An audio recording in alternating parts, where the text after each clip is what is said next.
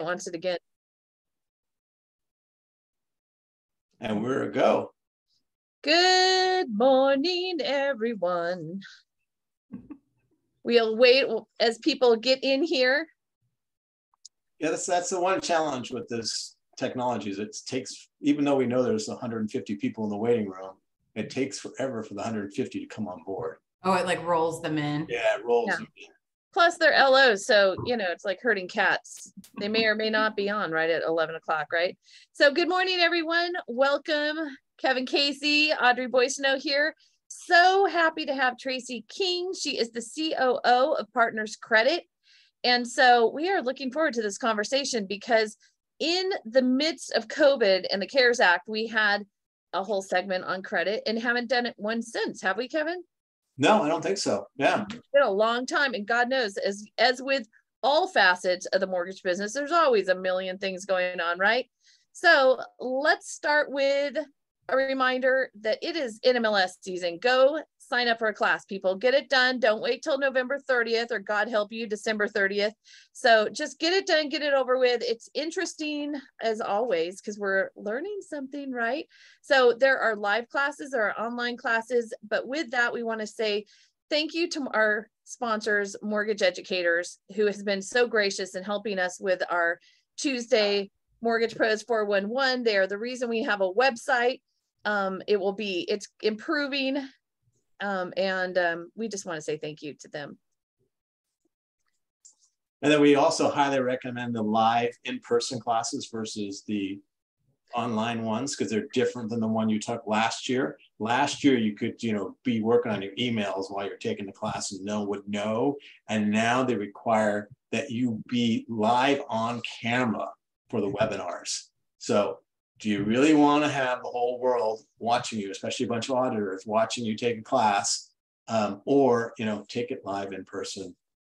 The interaction is fun and nice. Plus, we're big proponents, Tracey, of people getting up, taking showers potentially, putting on actual Yeah. clothes, maybe the clothes that don't stretch, and leaving their home. So um, go meet some people, go interact with humans. It's good. All right, moving right along. So, Tracey, we bounce around a little bit with topics. We know you are the credit expert.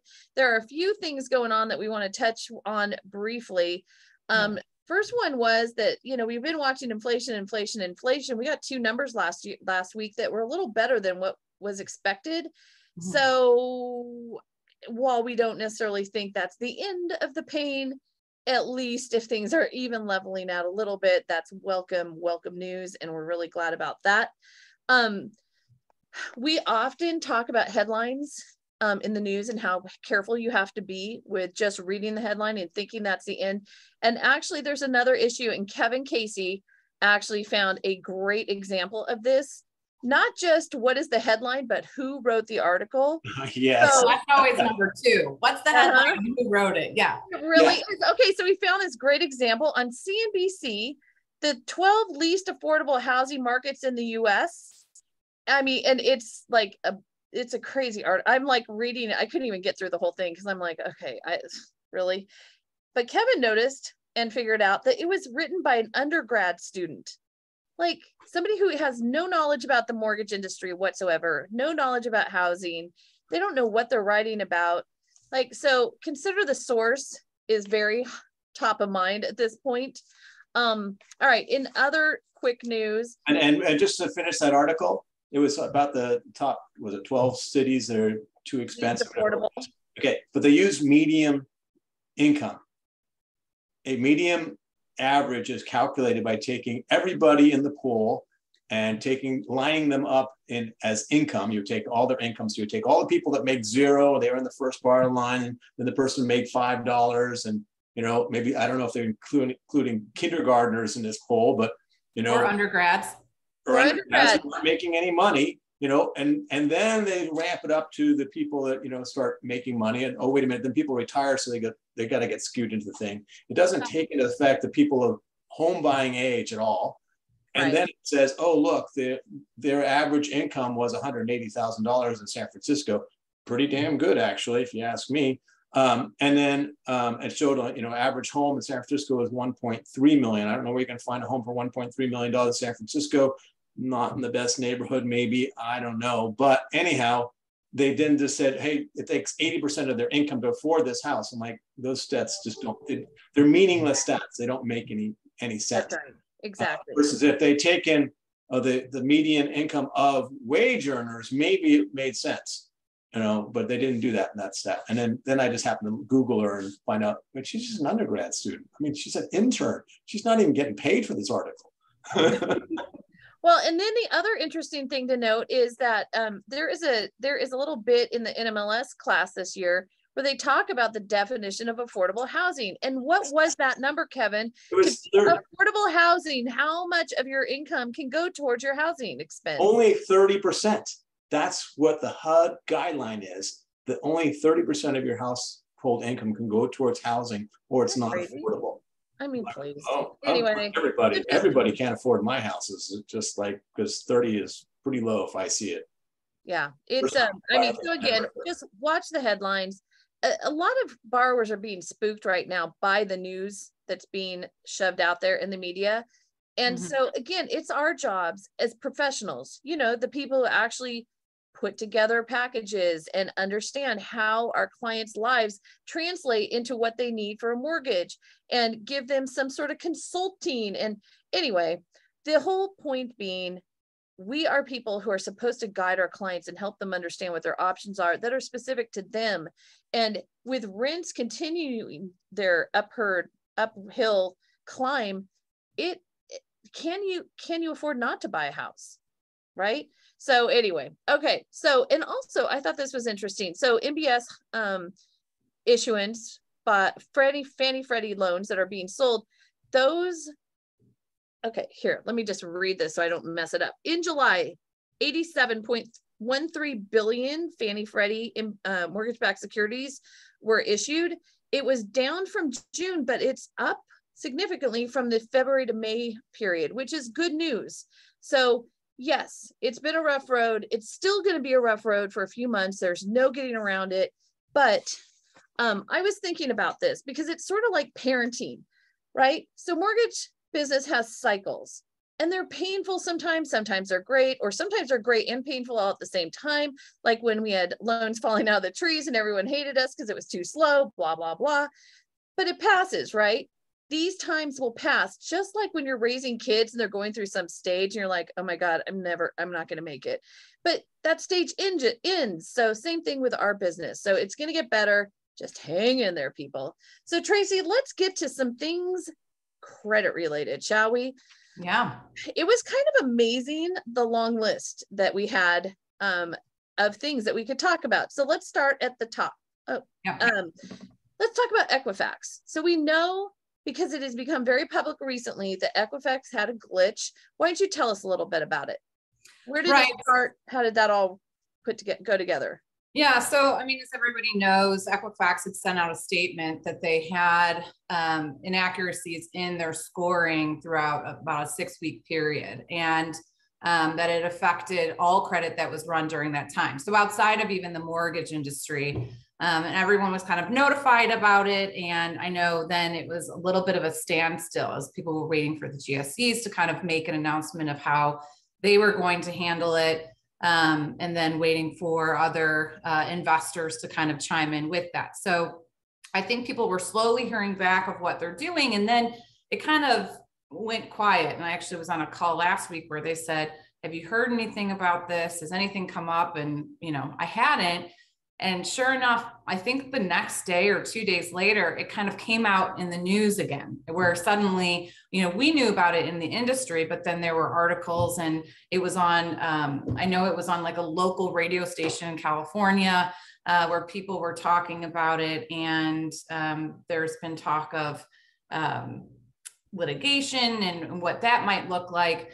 And then shortly thereafter, uh, a few days ago, Equifax came to companies like us. So, for those that don't know, we resell the data from the credit bureaus to our customers um, to have your credit reports, uh, issuing of how we would, uh, they would handle um, uh, being able to kind of, I'm losing my words right now. So sorry.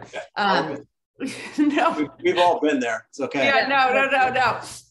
no, basically telling how everyone how they were going to be able to, um, if they had a request for reimbursement of how to get back um, on those loans that they had errors on, what people should do. And again, it's a little bit hazy. Um, we know what we know, and we're able to provide that information um, to our customers of what they specifically said. So um, from what we understand, lenders, you can't come in as an LO and say, okay, well, I pulled this credit report. Um, here's the one I want um, to figure out what I can get reimbursed for. Your whole institution needs to collect all of that data and provide some specifics to it, and then go directly to Equifax to have them evaluate and review. And then it's going to take, I think, about like six weeks, up to four to six weeks to actually get back to you on their findings for that. So that's the, the most latest information that we've received on it as I stumbled through it all. Sorry, that word reimbursement couldn't come to my mind.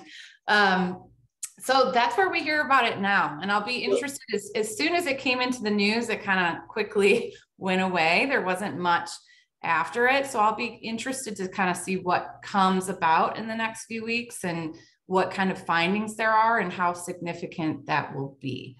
Um, yeah. So as I, as I understand it, the, um, the, the term was sometime in March to April is when this happened? Yeah, it was around April.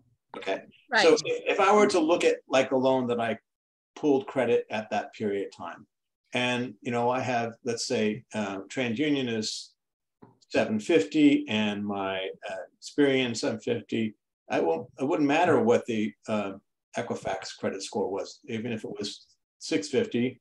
I still got two scores that turned in the credit, got the best scores I could get, and therefore it's not an issue at all. Now, right. if it was someone who was one was 680, one was 650, and Equifax was, you know, showed up at 650, but it was really 680, well, then maybe my client got burned because they got a score based on a 650 or a loan based on a 650 score versus a 680 score. And no, that's where the, the mark would be right. should be looking for. Am I correct in my, my That's correct. And like for all of you, um, again, your your your lending company should have been notified the specific files. So Equifax came to credit reporting agencies and gave us a list. And then your agency should have reached out to you um, and sent to everyone these. This is what the score was, and here's potentially what it should have been. So in some cases it was higher, some it was lower, and then you had to determine whether that impacted the file or not. So for several of those, it did nothing. Um. For others, they kind of figured out it almost balanced itself out mm-hmm. in terms of positives or negatives. I haven't heard of too much of an impact, at least from my customers, of overall what's going on with that. I know um, I've heard from some customers uh, for their MI companies that they've recently sent out information saying, you know, listen, if at MI they should have received a lower rate, we'll honor that if it was going to be a higher rate, we'll keep it where it is right now. So I know different companies are managing that and working with um, their lenders to, to try to kind of move on. But again, the information coming out is slow and steady, and it seems like the onus kind of comes upon the lender to be able to kind of get all your materials together, analyze, and bring it back to Equifax. And I imagine that's going to be a bit of a, a slow process. Yeah. Just to be clear, this was this was not just mortgages. You said that, but I want to make sure everyone gets that. It yeah. was cars. It was it was all credit, right? Yep, so, all credit. So it, I found the timing interesting, and this is you know so we're always thinking about what about the borrower, right? And I mm-hmm. thought it mm-hmm. was interesting that the first conversations were what about the lenders, and and so it slowly is trickling down to what about the borrower? Is it, it has it impacted their um, payments? In the short term or long term and how are they impacted right? So um i i wish that the i wish equifax had been quicker with sharing information. And do you have any insight into why there was such a delay? I mean this happens in april. I think they finally started talking about it in what may? Maybe even the yeah. may? And then the consumer finds out you know months later Right. Yeah, that I don't I don't know. So and you were talking about the time frame. So the time frame was March 17th to April 6th. So a span of that time, but we were not notified of it um, until yeah, early June. And when we were notified about it, then oh excuse me, it was um in late May. Yeah. Uh, and then we were told, but they were like, but we don't have the specifics yet. So you have to wait to inform your customers till we give you the specifics. So there was quite a lag there. I'm not sure how it was. Um, I'm imagining, I don't want to speak out of turn um, in my speculations of, of notifying who they needed to notify of this and what they would have to have together in order to rectify it. I imagine that takes time. So uh, how long that takes. One would question if it should have taken a month, but I don't, you know, I can't speak on their behalf. I just know the information we receive and pass along to our customers based upon really it was this is what you can say and how you can say it and there wasn't much wiggle room of our interpretation they were very specific of what we could share right interesting so so they have fixed it. So it brings up a question about the algorithms right? So this is where the mix up happened. They were adjusting algorithms. Something went a little wrong or off and that's where there was an issue right? But mm-hmm. i'm always curious because we are you know we're quoted algorithms whether it's we're talking about appraisals or you know running du and lp and you know so you've got all these automated models that are being created and run but we have some insight into what that translates into for the consumer, but I'm always fascinated by where did they get the information for this? They swear it's based on data. I don't always believe them, but do you um do you know much do you in algorithms anything? I don't know too much about the algorithms. They hold this really closely to their chest and how um, it all works. I know we've had some insight and I've had conversations with different parties that kind of look at simulating how to adjust scores and understanding that there's different within the whole scoring model, there's different score cards.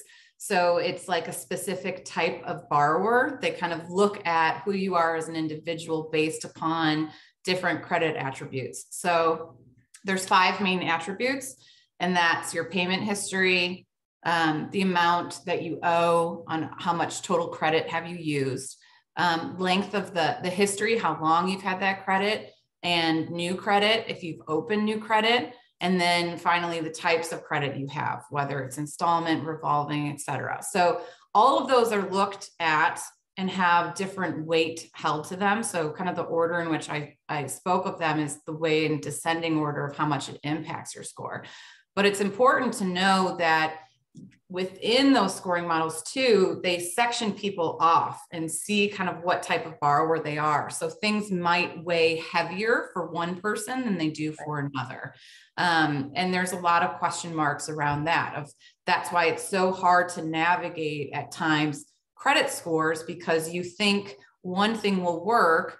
In actuality, if you improve something, it can bump that person into a new scorecard where things are weighed differently and, and don't have much as an impact. So, you know, I'm sure as an LO, you've pulled someone's credit by mistake and you're really scared that that inquiry is going to drop their credit score. Well, if you notice, there's some borrowers where it drops their score two points, and there's some borrowers it drops it 20 points.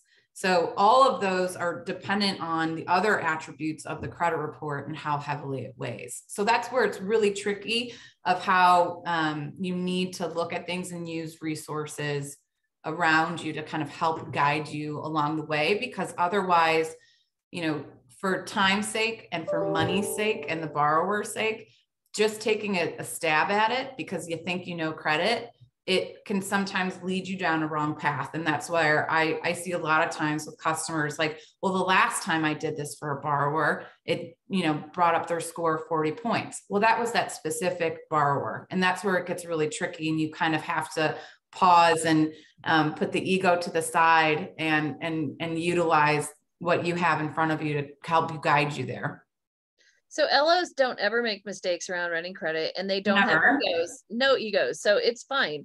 That yeah. is an issue. But I think this this thought about the scorecards is interesting because I don't think it's something a lot of us think about all the time. We we are we've learned a few things. We know that too much debt, we know proportion to available credit. We know obviously making your payments on time is a biggie, but we this scorecard idea where there are different sort of buckets, right? Where yeah. This is all being calculated because I know back before the meltdown, I would have somebody with an 800 credit score, but $125,000 in debt. Mm-hmm. And I'm like, I wouldn't lend them anything. And sure enough, they lost their houses. Right. And so I just, you know, I, okay, I'm sorry to be such a dinosaur, but I mm-hmm. really miss the days when you'd run a credit and you would say, okay, you have 30 years of great credit, but you have one late with Sears. Why is that? Oh, yeah, everybody has a late with Sears, of course. Okay, so this is a, a, a credit worthy borrower versus, okay, you know, the scoring model says that your 30 years of perfect credit has now been obliterated by the fact that the gas card that you had for 50 years i guess they yeah i had someone. They, they had a gas card for 50 years i'm not joking and they were in their 80s and they oh. used it and then didn't ever get a bill. Like i don't know where it went but whatever. And it dropped their credit scores 100 points. Does that reflect really on whether they're going to pay all their bills in the future or was it a mistake? And why isn't there more of an allowance for a one-off mistake? I i would like to know if you have any idea about that I all I know is that they do that, but they, you know, they weigh late and heavier eh, the more recent they are, obviously. Um, so if it's kind of a one-off, it's hoping that it'll balance out. But again, it's I'm not the only one that thinks this, um, that our scoring methods are antiquated. They haven't been reviewed or changed in a very long time. Um, and a lot of it's counterintuitive. So, Audrey, just kind of what you're talking about, a lot of people feel like, okay, I'm going to get a credit card. I'm going to go shopping and I'm going to be really responsible and pay it off. Every month, I'm paying off my credit cards and I want to get the points or whatever for whatever reason. Mm-hmm. And that brings down your credit score.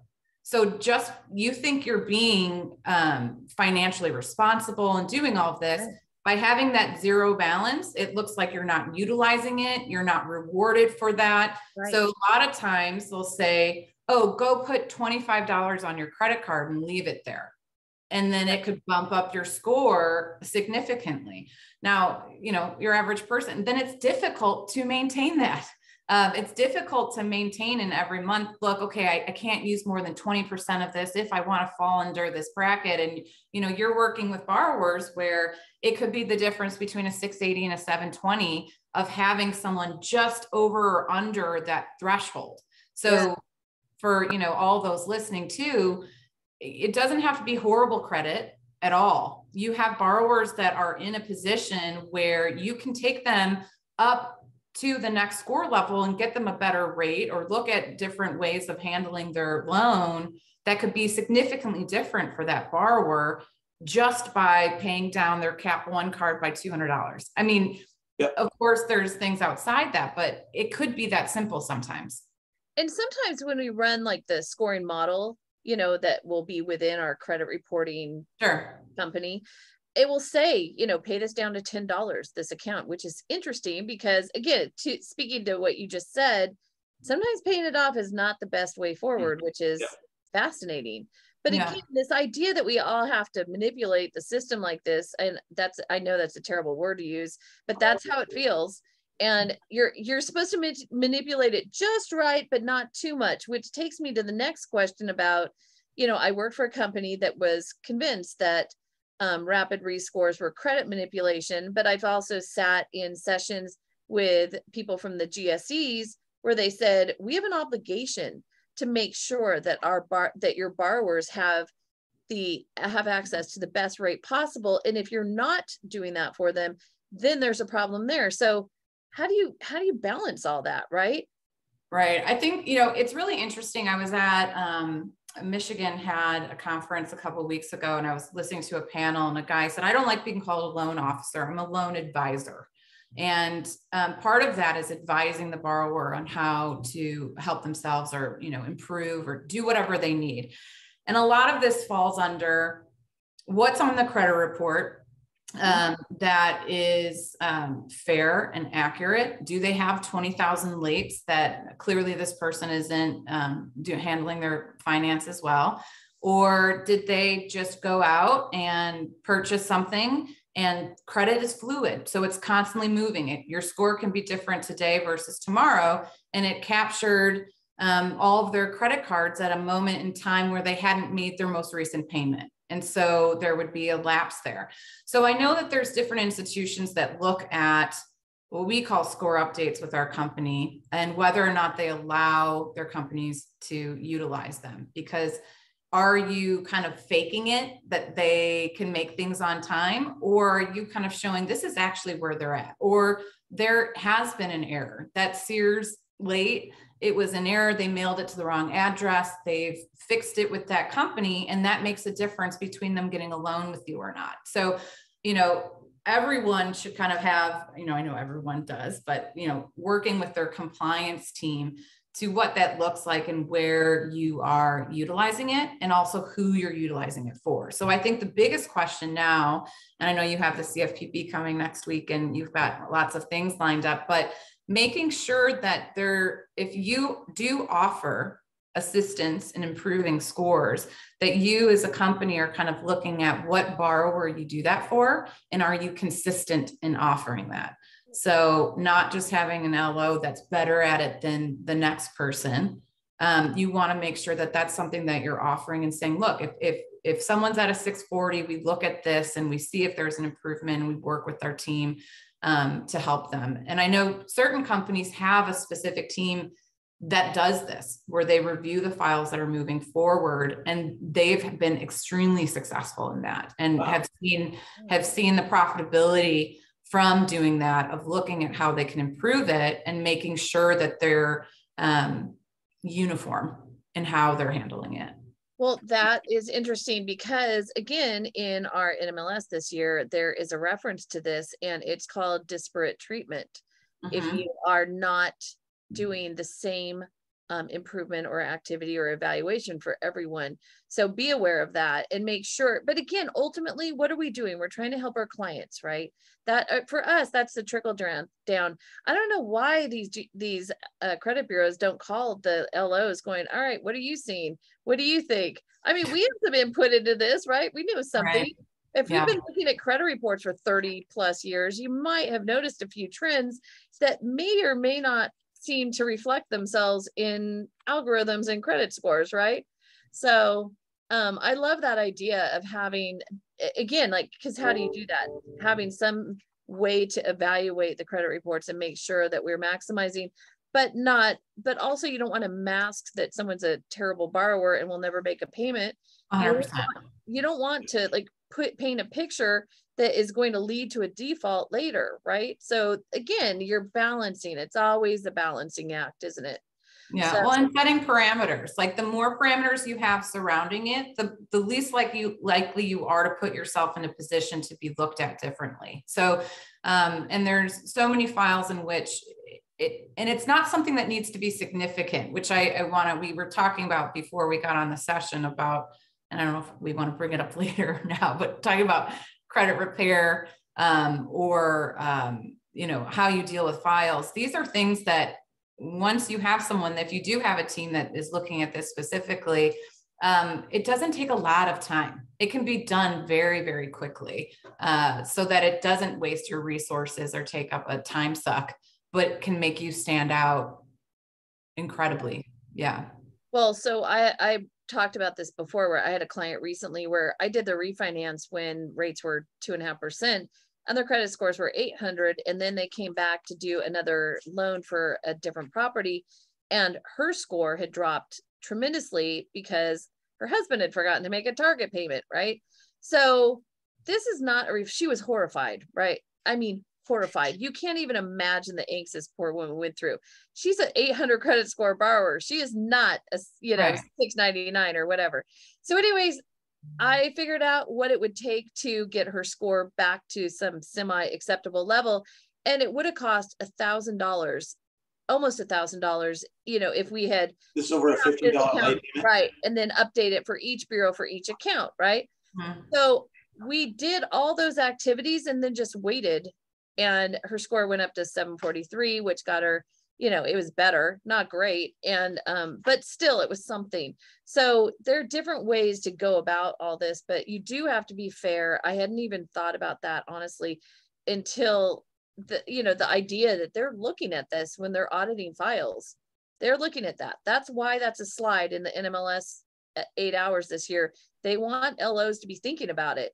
Make sure you have a consistent way that you are approaching your borrowers and treating them equally. So um, I just want to quickly go back and make sure that we adequately explain the question around reimbursement, the term reimbursement that was used earlier. And I, um, I again, there. Well, I forgot that word about for five minutes before I.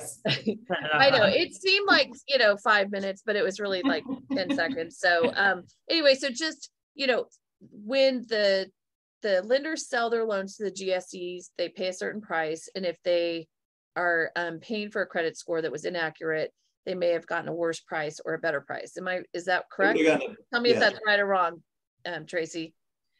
Right. But so, um, yeah, so reimbursements, it could be also though in reimbursements for like reports that they pulled. It mm-hmm. again, it's a little open. Sure um, to interpretation. So when we when we received the letter from them, it just said that they have created a processor for uh, reseller customers and lenders to submit reimbursement requests directly to Equifax. Okay. So um, and it just said related to the recent Equifax credit score issue. So yeah. I imagine that can be the bulk of everything.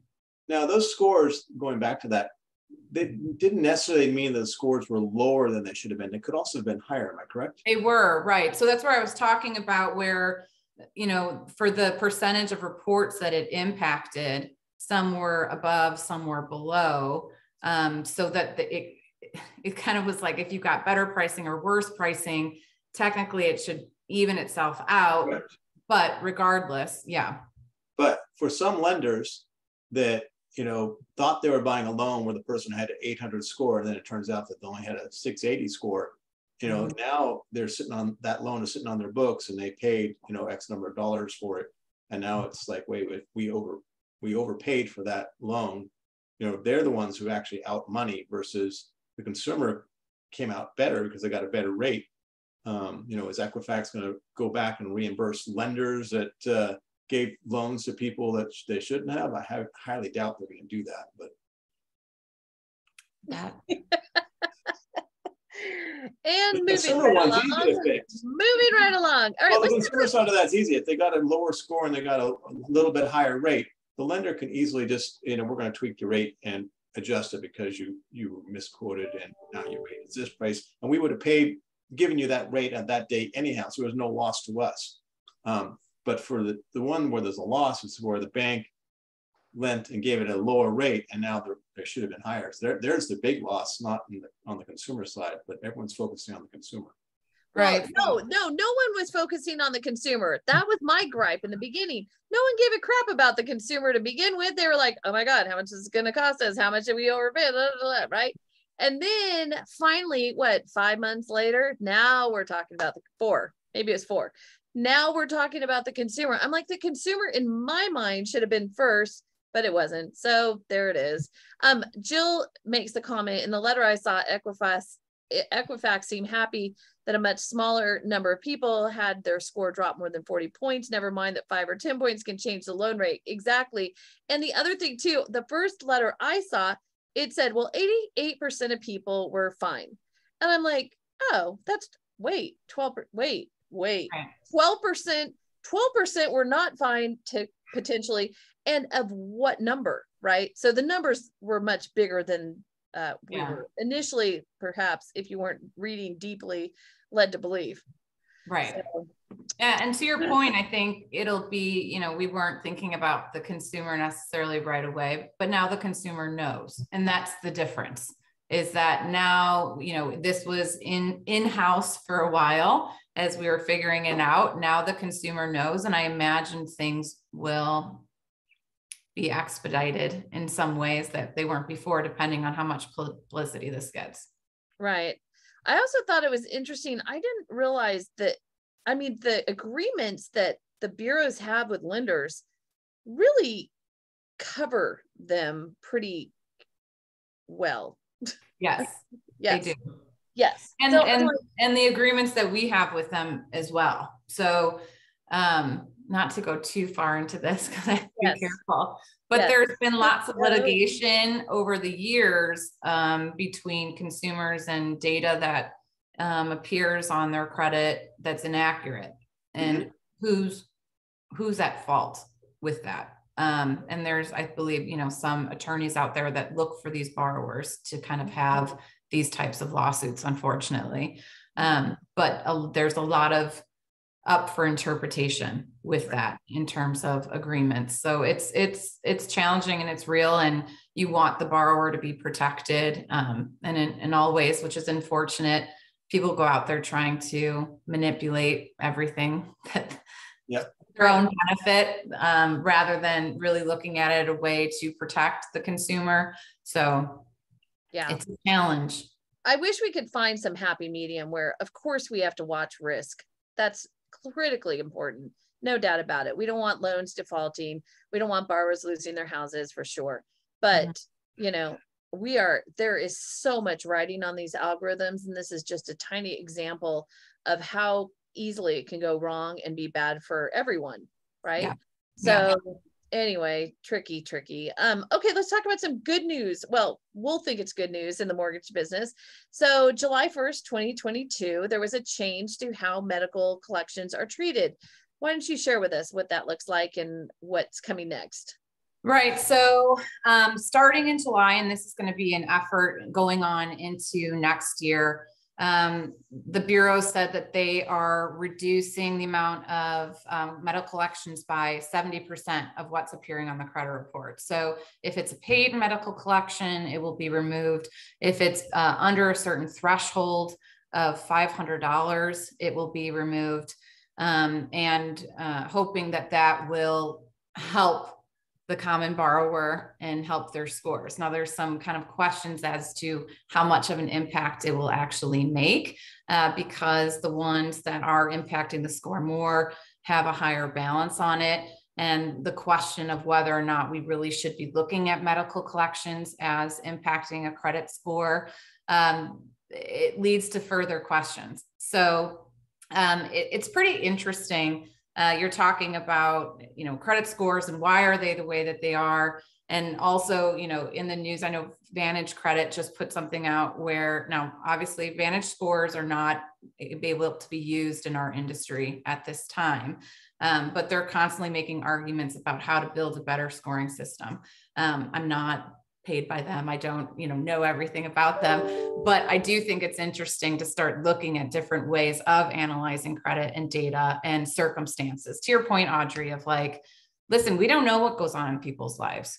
If someone's you know son god forbid hurts himself or has medical bills and they're trying to Right. figure it out or missed a payment of 79 cents or you know whatever should this in, impact someone's livelihood? Um, so um, it's it is a good change any kind of change where they're looking at things and adjusting that system i'm all for because it means that we're making progress and it means that we're taking this seriously and recognizing that there are cracks in that system Yes. so um, i'm i'm happy about it um, and then next year um, uh, I think they're going to be looking at, yeah, again, like the threshold of like how much it should be on there, the length of time um, when it is added to the credit report as well. So there's going to be a few changes um, continuing on to the first half of next year. Right. So I, I mean, I've been talking about this. My now 19 year old, he was 18 at the time, dislocated his shoulder the last week of um, his freshman year in May. And he has since May, this is the beginning of May, because I'm on his tail. I'm like, you need to call the hospital. You need to find out who the uh, ambulance company was. You need, and he can't find the ambulance company. Nobody knows who the ambulance ambulance company was and and i'm like they'll send you to collections in a hot second so i'm really Yeah. thrilled that there's now going to be more time before those things are reported because even when you are doing your best due diligence it, it is a ridiculously complicated, unfair process for Yeah. people. So you've got this 18, 19 year old kid who is now he's going back to school. He's not going to have hours and hours in his day to sit on the phone. And, you know, he's asked for the hospital to give him a breakdown of the expenses. And it he asked for that literally like a month ago. Nothing Right. yet. Yeah. And so it this process is ridiculous. So all efforts to help that are great, but this is only for things that are either paid or under $500, right? And so the CFPB seems to be saying that's not enough. Right. So the other thing that they are looking at is, like you just said, also just to add that one in of the time in which it will be reported. So it used to be six months and now it'll be a year before it's reported to the Bureau. So um, yeah, there are adjustments there, but yeah, CFPB has been critical about it. Again, quoting that it's a antiquated system that the scoring model that we're working under. And it's kind of like, let's look at, it's much bigger than a medical collection.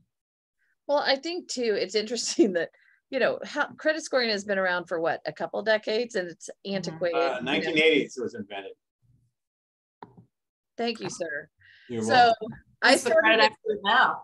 I started in, he, he just pulled that I know someone who was worked for Fair Isaac and came out of college and was on the team. Nice. I would definitely double check his math So- just because, So He's that- that so was old, it all blurs. yeah, When- talking about that, dinosaurs. it Probably it was the nineties when we started using in the mortgage world. Oh my goodness. It was definitely the nineties because I didn't start till eighty-nine Mhm. in, in the business and we weren't using them then at all. It, No, was no, a it was- number of years. They were, they were working on it in the eighties and then. Right. They Right. introduced it in the mortgage world, the late nineties, and uh, we haven't looked back. Uh, we're looking back all the time.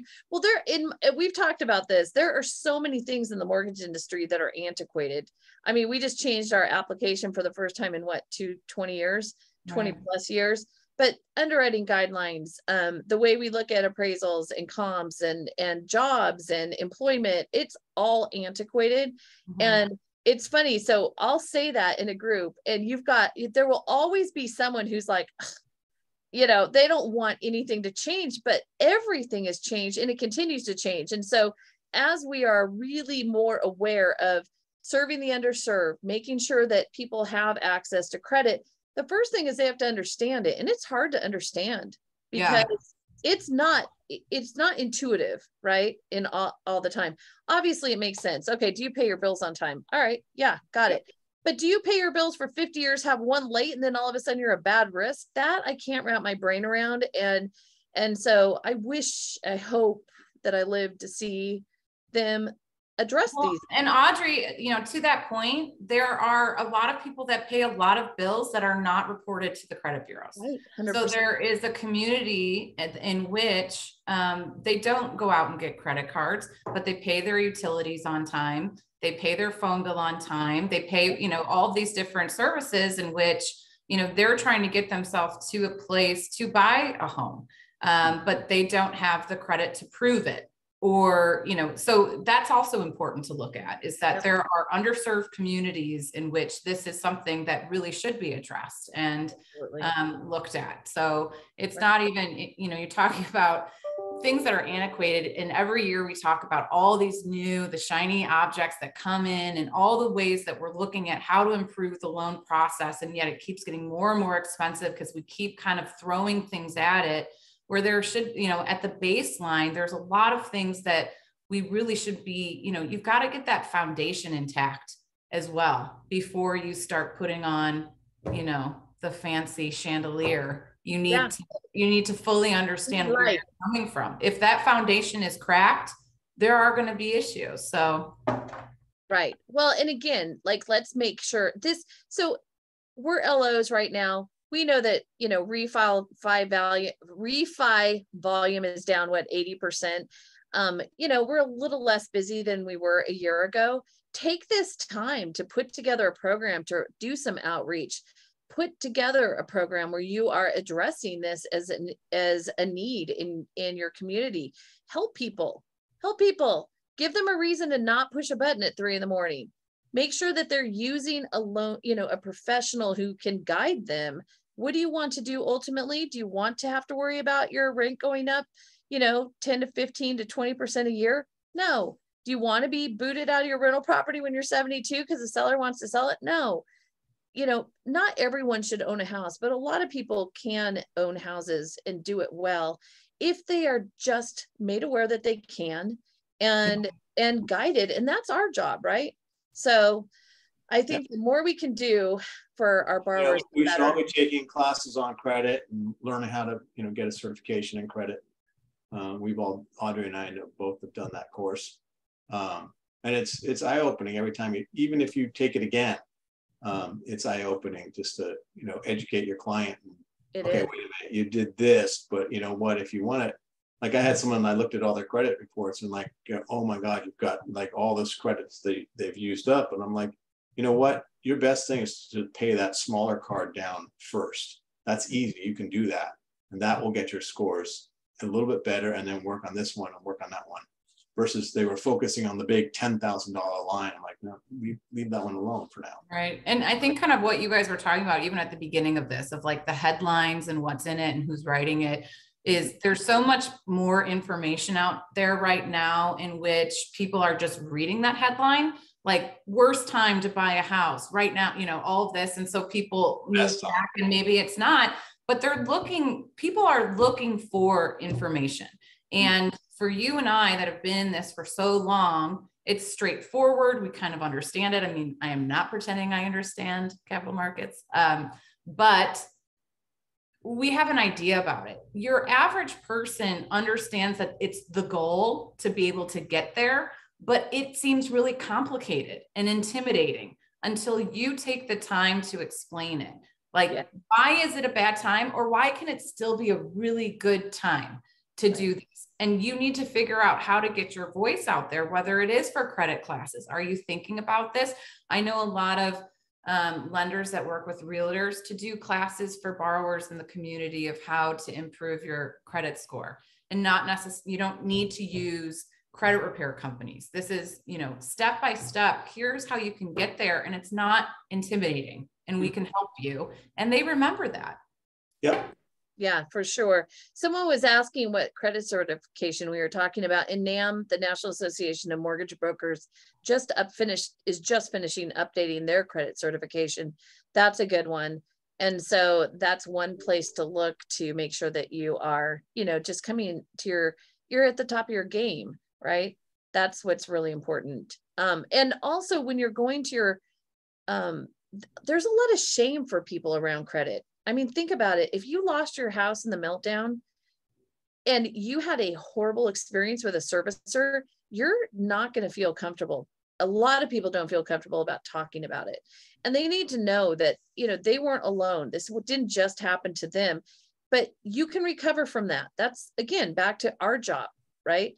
We communicate with them. First of all, servicers are not the enemy like they used to be. They have been tasked by the CFPB to make sure they're working with borrowers and helping them stay at their homes if it's possible. Okay, we communicate that to them because they'll listen to us, right? But there's so much negative information out there. So we've got to make sure that we are really all over it and we are um, communicating um,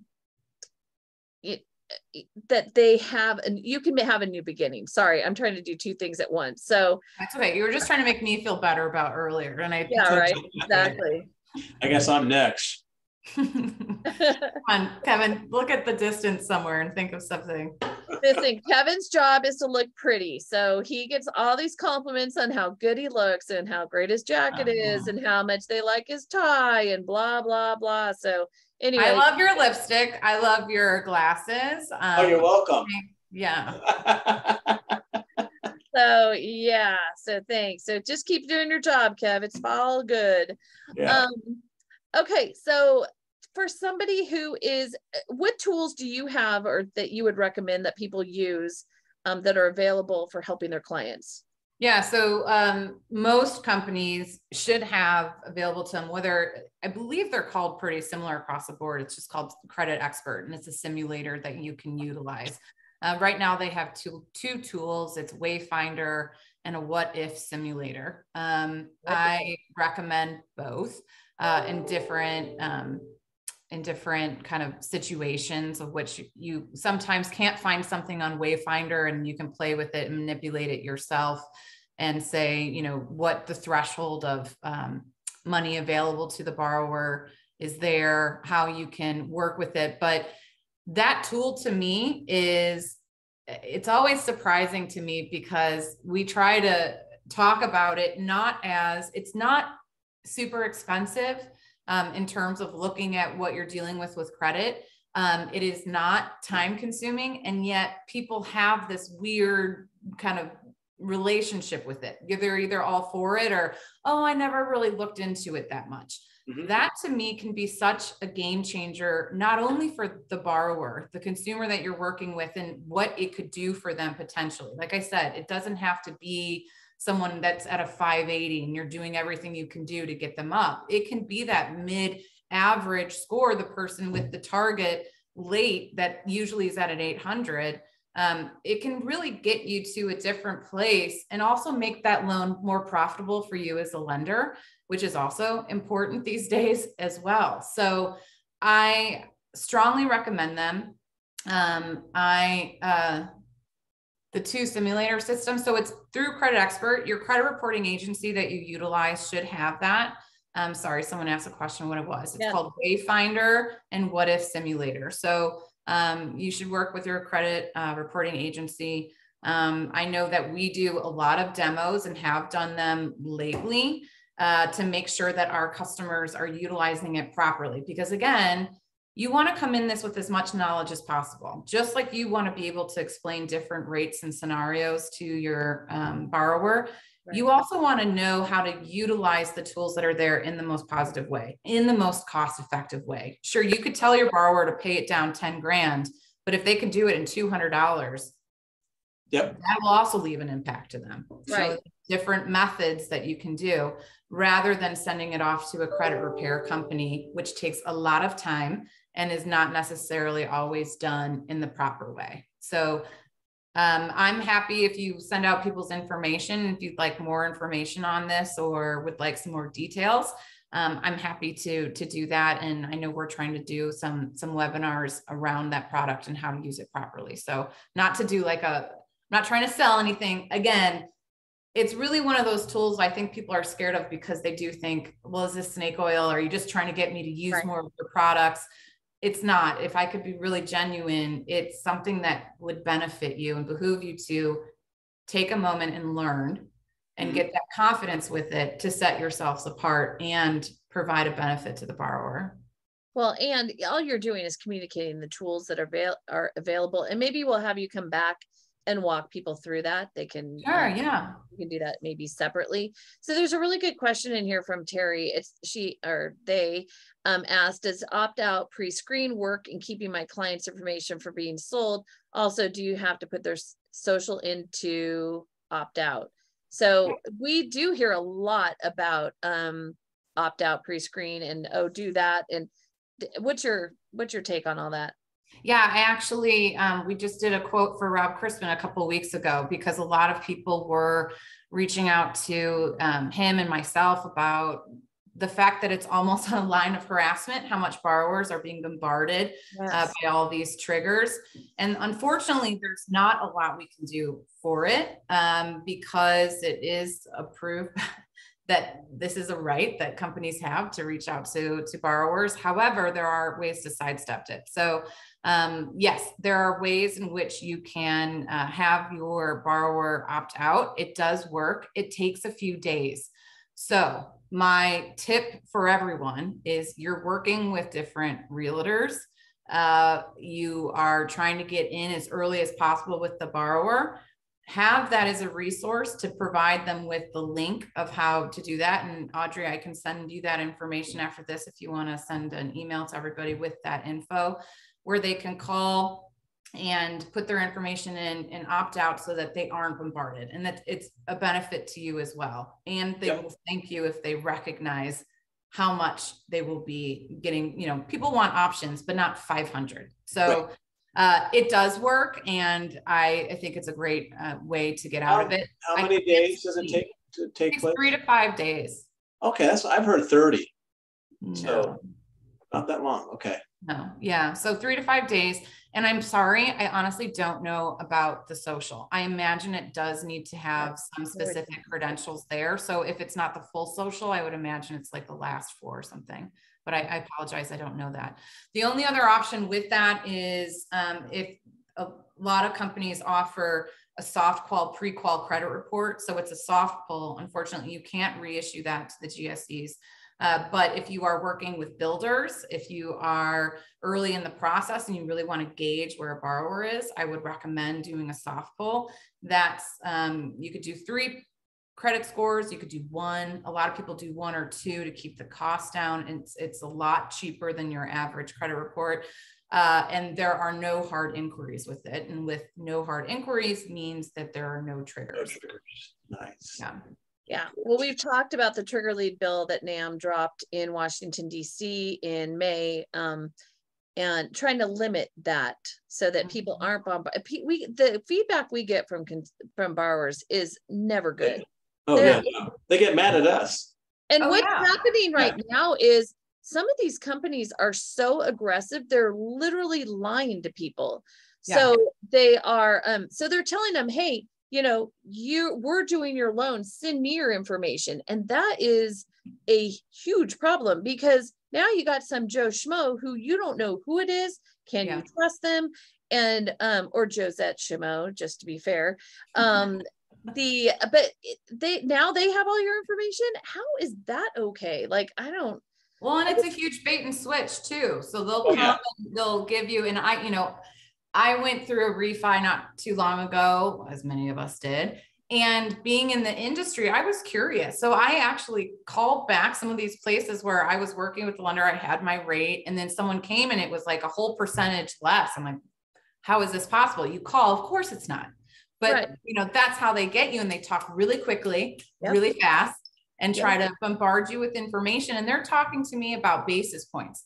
Now, I know what a basis point is. yep. My best friend has no idea what a basis point is. And so, why would anyone ever bring that up on a call not knowing someone? Because they're just Yep. trying to make it intimidating, make it fast, make it your head spin to to to get you in there. Right. So, well, and the other thing that I mean, I recently did something too, and oh my God, the phone calls that I mean, it was a lot, and I'm in the business, so same thing for you, but it is amazing to me when um I have asked borrowers who are like, oh, so and so told me I'm going to get this rate. You get the LE, and there's three, four points on there. I Mhm. mean, they have no idea. So yeah, the rate's lower. That's all they hear. But the points, does it make sense if you're 82 years old to pay that much in points? You know what I mean? yeah. and or any age like let's do the math like how long you know like we know the calculation that we do to figure out does that make sense or not and that's not what they're doing so you know it is again our job and opportunity to make sure that we are providing our our services and our information and um, as an asset to the borrower. So with that opportunity i think is like the biggest thing because i think it is. Saying that it's your opportunity it is. um, and every time i've talked to lenders my biggest thing is talk to people like it's their first time hearing it Yeah. you don't sound smarter you're making them feel you know dumber in the situation when you talk to them as if here's the basics and make it as black and white as possible they remember that rather than they're not thinking oh my gosh they're so smart they're thinking i feel lost Yes. So, I, yeah, it's it, it is. Yeah, you have to make them feel like you can ask me 15 different times because one spout one person in the transaction might get it, but the other person's brain works differently. It's not wrong, it's just different. So somebody is asking, um, you know, we have this right to privacy. How can this be legal? And what these people is not are doing is not legal. That's the whole point. They're just, you know, like Anyway, so there we go. We are at the top of the hour. We didn't even get to credit score by purpose. Can you quickly share what you have learned about that recently? yeah people are just interested in in kind of what's been happening with credit scores over the last you know 12 months 18 months so we've de- we've definitely seen a decline over time um probably about 20 points in terms of like the overall average but then a client shared with me uh, by the different you know score by purpose so what purchase cash out refi uh, rate term refi. So what's interesting is that the purchase score has only really changed by you know one point, whereas the cash out refi has gone down on average about 35 points. Uh, rate term has actually gone up two points. So there's definitely some changes there that are interesting to watch. Yeah. Um, and you know, Audrey and I kind of talked about the the debate as to why that might be, and and and uh, the different types of borrower that are coming in, and and if they are in a place to be able to get that loan. Yeah. Interesting as credit debt continues to increase, and the debate over whether that's a good thing or a bad thing um, is still going on. So with that, Tracey, thank you so much. I can't believe that we have, um, we are at the top of the hour and it is time to say goodbye, but we would just want to say thank you. Thank you for all the information, all the help. We'll look forward to having you back again soon. Join us next week. We're going to have Aaron D with us and then the week after is the CFPB. So should be interesting. We'll look forward to seeing you all then. Have a great week, guys. Thank Bye. You. Thank you, everybody. Bye, Kevin. Thank you. Audrey. Bye.